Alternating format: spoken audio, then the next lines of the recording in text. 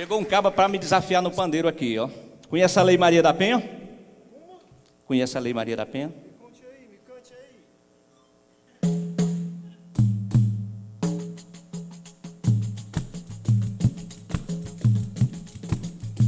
A Lei Maria da Penha está em pleno vigor. Não veio para prender homem, mas para punir agressor. Pois em mulher não se bate nem mesmo com uma flor.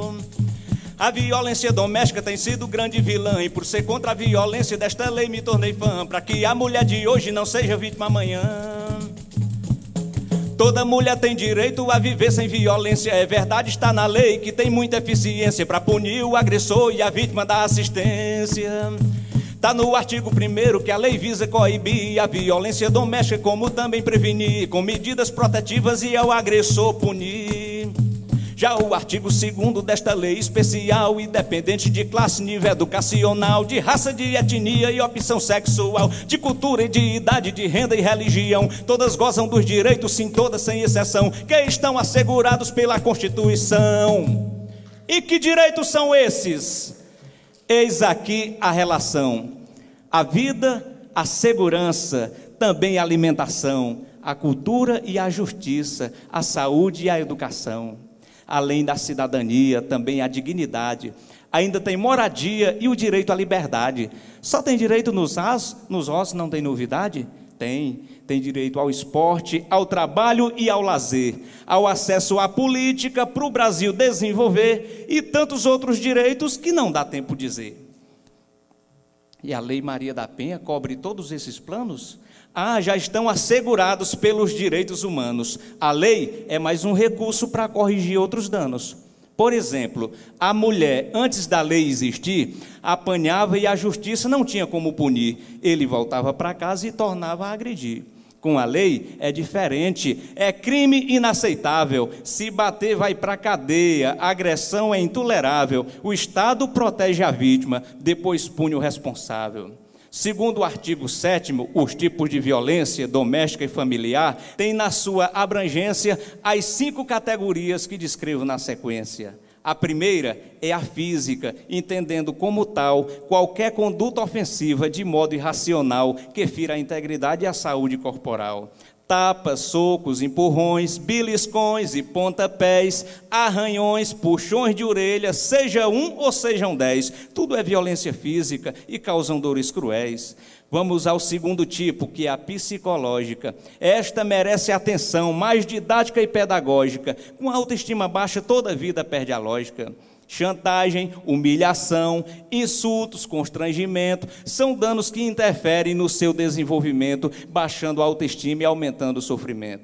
Terceira, violência sexual, dá-se pela coação ou uso da força física, causando intimidação e obrigando a mulher ao ato da relação. Qualquer ação que impeça esta mulher de usar método contraceptivo ou para engravidar, seu direito está na lei, basta só reivindicar. A quarta categoria é a patrimonial: retenção, subtração, destruição parcial ou total dos seus pertences, culmina em ação penal. Instrumentos de trabalho, documentos pessoais ou recursos econômicos, além de outras coisas mais, tudo isso configura em danos materiais. A quinta categoria é violência moral. São os crimes contra a honra, está no Código Penal. Injúria, difamação, calúnia e etc e tal. Segundo o artigo 5 esses tipos de violência dão-se em diversos âmbitos, porém é na residência que a violência doméstica tem sua maior incidência. E quem pode ser enquadrado como agente agressor? Marido ou companheiro, namorado ou ex-amor. No caso de uma doméstica, pode ser o empregador. Se por acaso o irmão agredir a sua irmã, o filho agredir a mãe, seja nova ou anciã, é violência doméstica, são membros do mesmo clã. E se acaso for o homem que dá a mulher apanhar, é violência doméstica? Você pode me explicar? Tudo pode acontecer no âmbito familiar. Neste caso é diferente. A lei é bastante clara. Por ser uma questão de gênero, somente a mulher ampara. Se a mulher for valente, o homem que livre a cara e procure os seus direitos da forma que lhe convenha. Se o sujeito aprontou e a mulher desceu-lhe a lenha, recorra ao Código Penal, não à Lei Maria da Penha.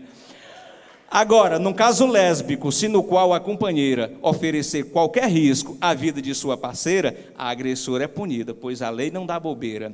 Para que os seus direitos estejam assegurados, a Lei Maria da Penha também cria os juizados de violência doméstica para todos os estados. Aí, cabe aos governantes de cada federação destinarem os recursos para a implementação da Lei Maria da Penha em prol da população. Espero ter sido útil neste cordel que criei para informar o povo sobre a importância da lei, pois quem agride uma rainha não merece ser um rei. Dizia o velho ditado que ninguém mete a colher em briga de namorado ou de marido e mulher. Não metia, agora mete, pois isso agora reflete no mundo que a gente quer.